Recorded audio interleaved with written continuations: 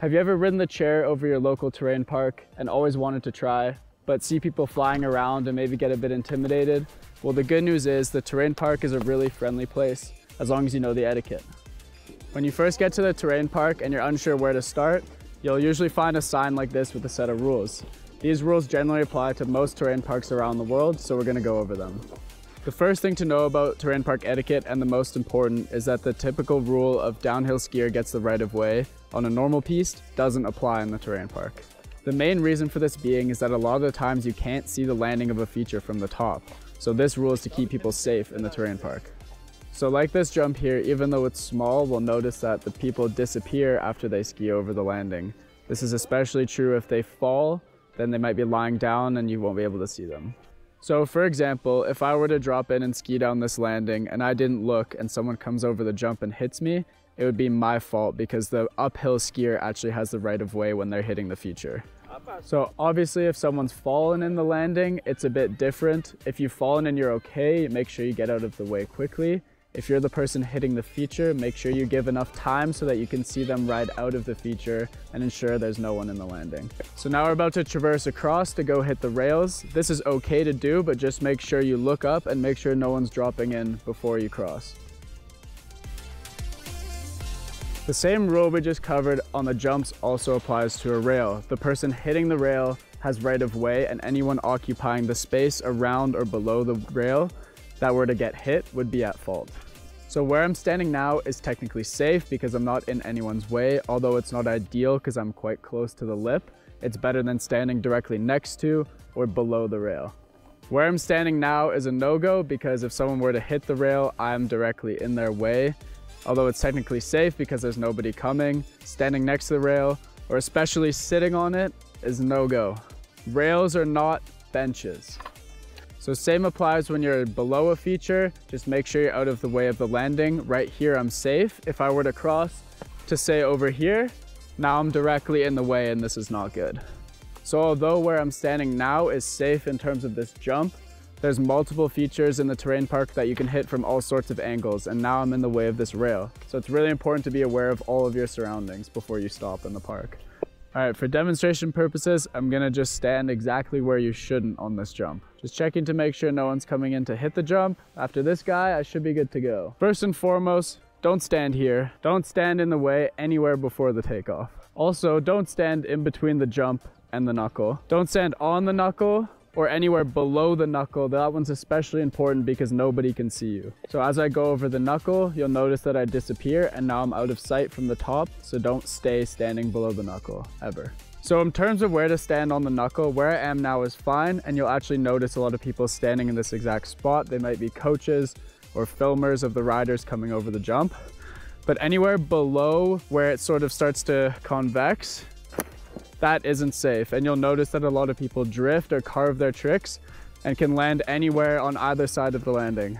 Although where I'm standing now may seem safe because it's off to the side, people often carve or drift their tricks so they can land anywhere on the landing. So even standing off to the side is not safe.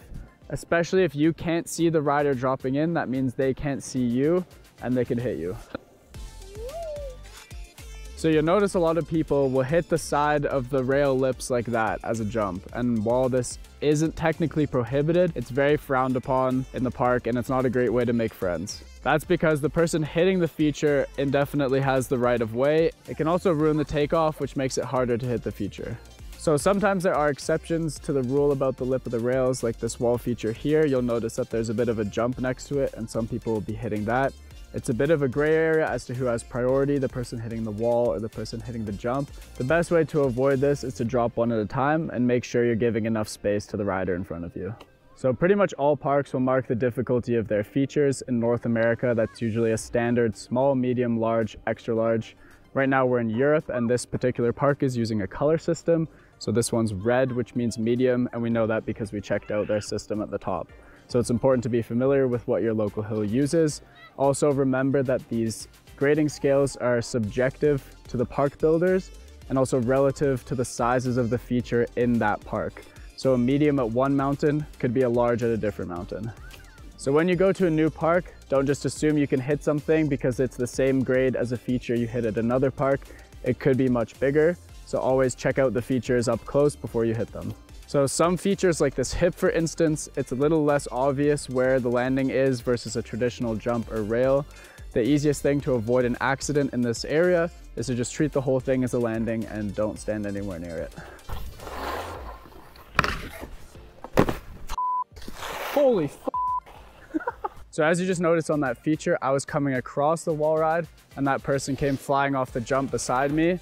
In that case, I was in the right because I was the downhill skier hitting the feature and she came from the other side and almost hit me.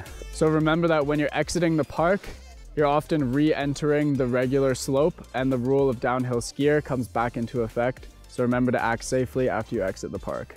So you'll notice that most parks will have a rule about calling your drop, but then you'll probably notice that most people don't actually say drop in when they're dropping in, just because there's some sort of mutual understanding up top about whose turn it is. However, if you're unsure if it's your turn, you can still call drop and people respect you. If you're not sure about the speed for a feature, it's best practice to watch someone who's a similar size to you and looks like they know what they're doing. In some cases, you may ask someone if you can follow alongside and follow them into the jump, but don't hit it at the same time as them. Just go to the knuckle and see where they land so you know what the speed is like. Yo man, is it okay if I follow you into this jump? Yeah, of course. Okay, sweet.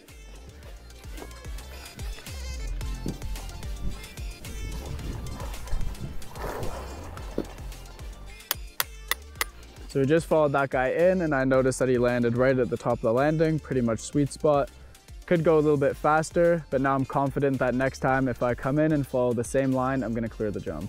So there's two hand signals we use in the park to communicate at distance whether a feature is clear to hit or not. So this means open and this means closed.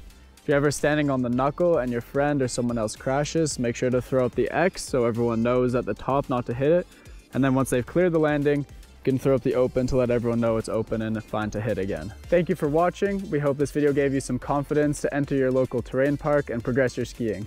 If you want to learn tricks or anything, we have a whole host of other videos you can go watch. Right there. Click the link. It's right here.